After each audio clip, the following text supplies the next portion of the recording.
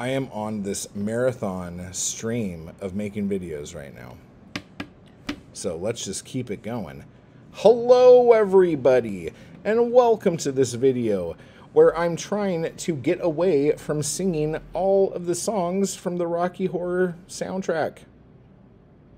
I did a video and ended it with a quote from Rocky Horror, and now I can't stop singing the songs. I got the soul damn McLean. Okay, seriously, guys, here we are. What I wanted to talk about today, and this video is specifically for poets out there. So if you are a poet and you are watching this video, please, at the end of this video, or anytime throughout, I don't care how many fucking comments you leave. You could comment, bomb me all you fucking want. Tell me what your experience with this stuff is because maybe I'm just in a bunch of shit groups. But I want to talk to you today about poetry Facebook groups. And I probably don't even need to just say Facebook, but this is the majority of my dealings with um with fucking Facebook and poetry groups. I am a part of a lot of poetry Facebook groups. Some of these groups have thousands of members from all over the world.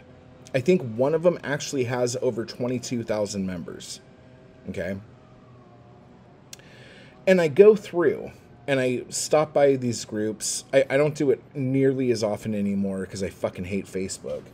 But I go through every once in a while and just like look through and there's all these posts.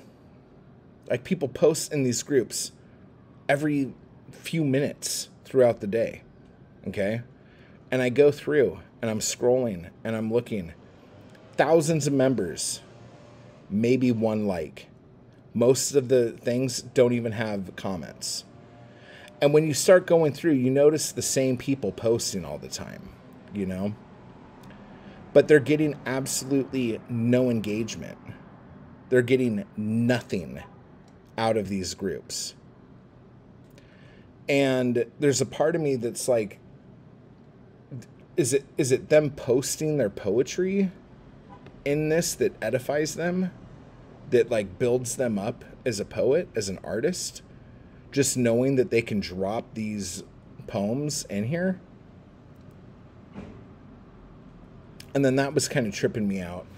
And then you also get all this stuff where poets will do like not necessarily like a press release, but like some like I don't know, like MS Paint slash Canva looking image that's like like and a picture of them or looking off in the distance and it'll say like so and so poet wins something award for blah. And there's like no likes, no shares, no comments. Thousands of people in this group. Nothing. There was just all this shit, and I'm like, I don't know what the fuck any of this stuff is. And it doesn't seem to be fucking doing anything. So I'm like, okay, I'll post um, my podcast in here and say that I'm looking for people to interview. Okay. I posted it in every fucking group. Zero responses. Zero responses. Not a single fucking person responded to me.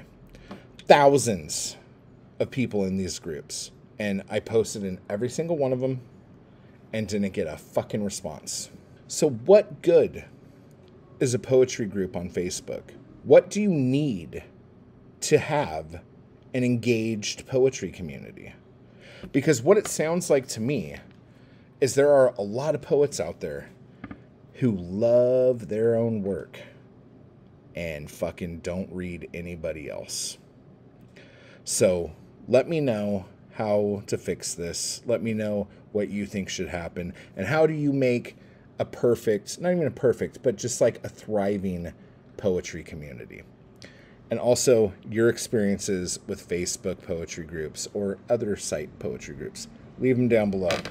Keep buying my books, everybody, and type hard, and I will talk to you later. I just want to give a quick thanks to those people who make these videos possible. Anarchy Crew and my followers on Patreon. I appreciate the hell out of you guys, and thank you so much for keeping me going to keep this content possible. You guys are awesome. And if you'd like to join the crew or the Anarchy Crew, just hit the join button beneath this video. And if you'd like to become a member of my Patreon, you can run over to the link down below to do that as well. Thank you.